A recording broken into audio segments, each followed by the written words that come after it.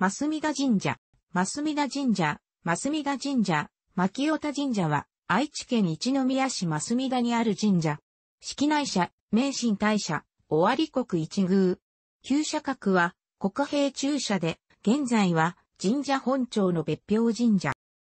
愛知県北西部、一宮市の中心部に鎮座する。創建はつまびらかでないが、古代に、尾張地方を治めた、尾張氏の崩壊に始まるとされ、尾張氏祖神の天下民命を祭神とする。中世には、尾張国の一宮に位置づけられ、一体の地名、一宮は、この増田神社の社格に由来する。現在でも一宮市の首相は、増田神社の信奉がモチーフとされるように、古くから一宮地域の発展に関わってきた古社である。社殿は第二次世界大戦中の一宮空襲で消失したため、現在見られるものは戦後の再建である。そのうち、本殿、西門殿などは神社建築としての造形を評価され、国の登録有形文化財に登録されている。また国の重要文化財の木造部学面12面、シュール式25点をはじめとして、多くの文化財も伝承する。その他、創建日とされる4月3日に行われる例祭は、10日祭として知られる。祭神は次の人柱。本事物は、増田神社演技では、ビルシャナ仏、新東州では、地蔵とする。現在、増田神社の祭神は、上記の通り天下民命とされるが、かつては、国の床たちの孫祭神説や大名鞭の命、祭神説など複数説が存在した。これらのうち国の床たちの孫祭神説は、増田神社演技、古演技、室町時代末期頃成立に記される説で、最も古い時代に遡る。国の床たちの孫は、神話では、天地開闢の時に最初に現れた神とされ、古演技では、崇神天皇の時に、国の床たちの孫を勘定して祀ったとする。しかし近年では、同書が続けて、増田神社を日本中の一宮と主張していることから、伊勢神宮と被験するために、アマテラス大臣より古い国の床たちの孫が持ち出されたものと考えられている。一方、大名持の命祭神説は、大日本国一宮記に見える説で、出現は、室町時代末期から江戸時代初期頃に遡り、諸文献に散見される。これらに対して、天日名命祭神説は、江戸時代に吉見幸和や栗田博により唱えられたものである。天日名命は、日本初期、古事記の神話では、アマテラス大臣の孫神、アメノオシホ耳の命の子神とされ、仙台旧寺本義ではにぎはやひ命と同一視される神である。そしてこの天神命に否定する説において、社名の、マスミが、巻よ鏡、マスミの鏡のように鏡に関係する語であるとして、鏡作り師や尾張氏の祖神の天下民命が祭神だと想定された。しかしながら、尾張氏は、尾張地方に広く勢力を持った士族ではあるが、増田神社との関係を示す文献、伝承は知られていない。歴史的には、中世末期から江戸時代までは、国の床たちの孫祭神説が主流で、明治の時点での祭神は、国の床たちの村のほかアマテラス大神か、月夜謙信、大名鞭の陣、大竜王神の五柱となっていた。しかし、特選神明帳において、アマテラス大神かが、天下民命、アマテラス国テル彦天下名村の語気とみなされ、かつ他の四柱が省略され天日名命一柱とされた関係で、以後は現在まで天日名命一柱説が採用されている。なお、増田神社市では、国の床たちの孫祭神説を高等無形としながらも、天日、名命と大名鞭の命については、それぞれ尾張氏の祖先神と法祭神、土地神であった可能性を指摘する。なお、祭神の性格に関しては、過去の祭神に竜神が見えることから、水神の性格が指摘されるほか、赤染衛門州の記述から農業神の性格も指摘される。創建について、現在の増田神社社殿では、祭神の天下民命は、大和国葛城の地方、現、奈良県葛城地方の高和流を出て、神武天皇33年3月3日に、当地で鎮祭されたのが始まりとする。一方古文献では、増田神社の創建に関して、初代、神武天皇の時とする説、第十代崇神天皇の時とする説の二説が知られる。上記の文献はいずれも中世以降の成立になるため、これらの伝承の真偽や、神武天皇や崇神天皇の時期に延言を求めた理由は明らかとなっていない。このうち、神武天皇33年3月3日という年月日については、すでに存在した10日祭3月3日から逆に創造されたとする説がある。これら文献を受け、増田神社市では、尾張氏が大和葛城地方から尾張に進出し、崇神天皇頃にあたる尾張氏一族の和徳玉彦命、仙台旧寺本義、天孫本義に見える人物の時期に神社が創始されたと想定している。社名、増田の語源は明らかでないが、口述のように文献では、増田、新墨田の2種類の用字が存在する。この総印に関して、演技式のみ、墨の用字であることから、演技式の表記が、実は、公認式、820年の古い表記の踏襲と推測する説がある。歴史的には、その後は、工事、清の表記が定着した。なお、演技式新名帳では、美濃国鏡郡に、村国新墨田神社、岐阜県各務原市とも見え、増田神社との関連が指摘される。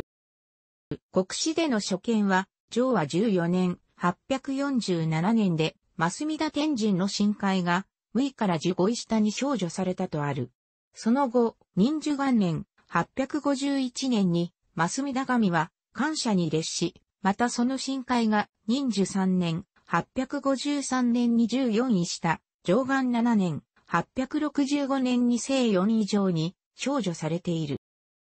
延長5年、927年成立の演技式新名帳では、尾張国中島郡に、新墨田神社名神台と記載され、名神大社に列している。また、尾張国内新名帳、尾張国内新名帳では、小一位増田明神と記載されている。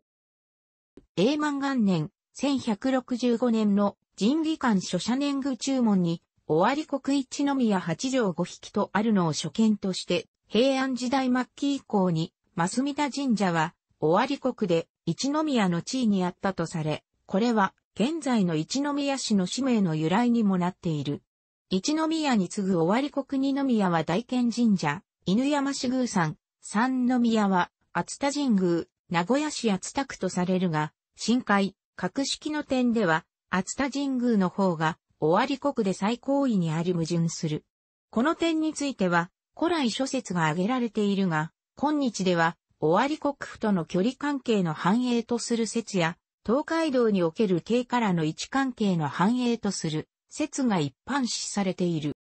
増田神社は古来多くの車両を有したが、それらは増田層として荘園化し、平安時代末には八条飲料の内安、落樹飲料に含まれた。家庭元年、1235年の文献によると、車両は水田129兆9単300歩、内停電は96兆120歩で、旧中島郡の他羽栗郡、愛知郡、海東郡、海西郷売一帯に分布したとされる。中世紀の他の文書からも、車両が広範囲にわたった様子が指摘される。また天文年間、1532年から1555年からは、助分子が神職を務めるようになった幕末まで世襲。その後天正12年、1584年には、大地震で社殿が崩壊し、豊臣秀吉に車両も没収されて社税は衰えたという。江戸時代に入ると、徳川氏から庇護を受けて復興し、尾張藩主、松平忠義から車両200国の寄進、さらに寛永4年、1627年には、藩主、徳川義直から105国余りの寄進を受け、336国6と余りの車両を有するようになったという。寛永16年、1639年には、吉直から歳別を記した刻印状が下されたほか、漢文5年、1665年には四代将軍、徳川家綱から朱印状が下されている。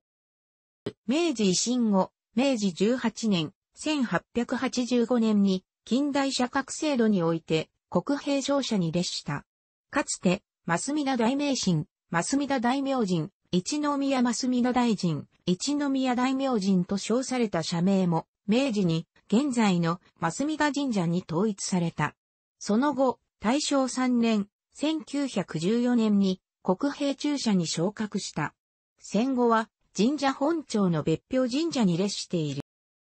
境内は約3万90平方メートル。社殿は昭和20年、1945年の一宮空襲で消失したため、いずれも戦後の再建である。昭和26年、1951年から再建計画が立てられ、昭和32年、1957年までに、本殿、西門殿、渡戸の拝殿、回廊スカシベイ、新鮮所、社務所などが再建された。これらのうち、本殿及び渡戸の一棟、北門及びスカシベイ、一棟、西門殿、一棟が、それぞれ国の登録有形文化財に登録されている。主要社殿の詳細は次の通り。なお空襲で消失した社殿は、典型的な終わり作りとして知られた。楼門は、その空襲による消失を免れたが、これも昭和36年、1961年に再建されている。中世紀の増田神社の様子を知る絵図としては、増田神社小絵図、一宮市指定有形文化財がある。この絵図は、室町時代頃の社塔と灯火祭の様子を描いたもので、主要社殿として、朱塗りの本殿、縦長拝殿、直視殿、楼門、その左右に、抹社、新古、さらに境内両端や参道には東神宮寺、西神宮寺、深夜他社、山王社の様子が表されている。また、中央の広場では出し二台とともに、当時の風俗の様子が描かれている。一宮市博物館では、この絵図に基づいた1、150スケールの復元模型が展示されている。現在、1994年時点の節末社は、拙社2社、境内2社、末社36社、境内11社、境外25社の計38社。かつて、室町時代には別宮4社、4所別宮、末社88社があったというが、江戸時代の遠方年間、1673年から1681年頃には、末社45社、別宮不明、牧尾求む当主、江戸時代中期の頃には、別宮は廃止末社14社の状態であった。明治から大正にかけての節末社整理の後、昭和40年、1965年に、福式神社の新設、平成5年、1993年に三明神社の復興がなされたほか、境内外抹社も変遷を経て、現在に至っている。現在の境内抹社は次の11社。社殿はいずれも昭和20年、1945年の消失以後の再建。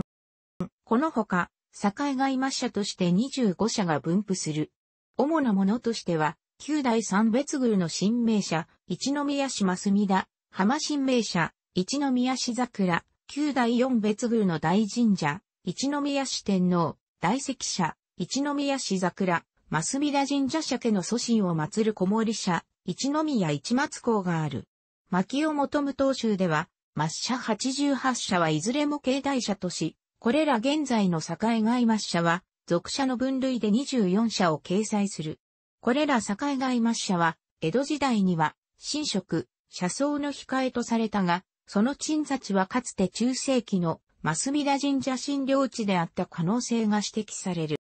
牧尾求む当州、江戸時代中期で挙げる、旧別宮4社、旧摂社2社。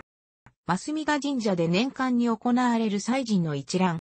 所在地、付属施設、交通アクセス、原点出店、書籍、サイト。